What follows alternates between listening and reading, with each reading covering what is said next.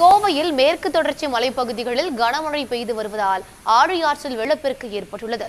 இது குறித்தான கூடுதல் விவரங்களை வழங்குவதற்காக செய்தியாளர் மோகன் இணைகிறார். மோகன் விவரங்கள்.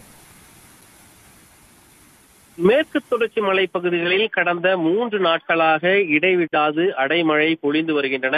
இதனையடுத்து வால்பாறை சக்தி எஸ்டேட் மற்றும் தலைநார் உள்ளிட்ட பல்வேறு பகுதிகளில் அடைமழை பொழிந்து வருகிறது. இதனால் காடம்பாறை அணைக்கு நீர்வரத்து அதிகமாக இருக்கிறது அப்பர் ஆலியா ஆத்தி ஆலியாற்றிலிருந்து வினாடிக்கு ரெண்டாயிரத்தி ஐநூறு கண்ணாடி அடி நீர் தண்ணீர் வந்து கொண்டிருக்கின்றன.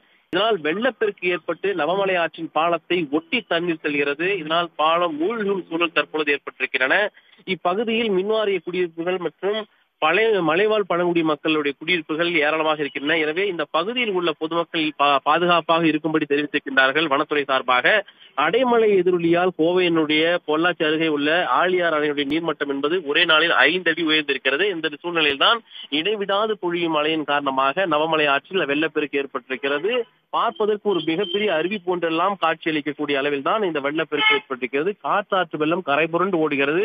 ஒரு வெண்ணிற போர்வை போர்த்தியது போலதான் அந்த காற்றாற்று வெள்ளத்தை தொலைவிலிருந்து நாம் பார்க்க முடிகிறது. எனவே இந்த பகுதிக்கு பொதுமக்கள் யாரும் செல்ல வேண்டாம் செல்ஃபி எடுக்க வேண்டாம்.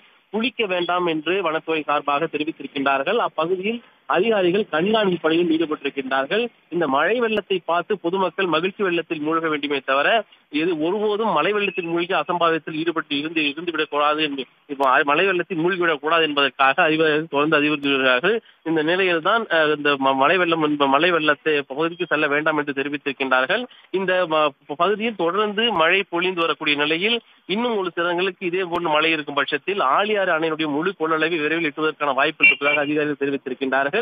தொடர்ந்து இந்த பகுதியில் அடைமழை பொழிந்து காற்றாற்று வெள்ளம் ஓடக்கூடிய சூழலில் அருகாமையில் உள்ள பல்வேறு நீர்நிலைகளுக்கும் தண்ணீர் சென்று கொண்டிருக்கின்றன.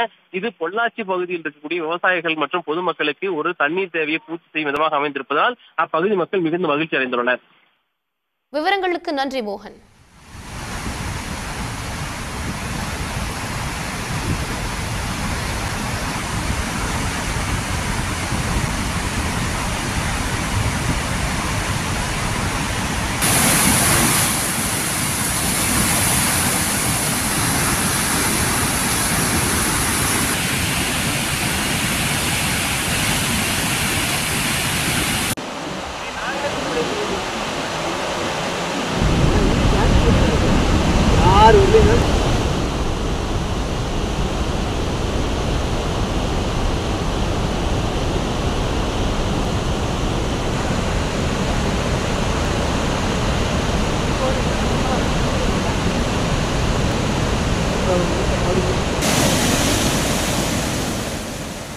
உடனுக்குடன் செய்திகளை தெரிந்து கொள்ள சன் நியூஸ் பெல் ஐக்கான கிளிக் பண்ணுங்க.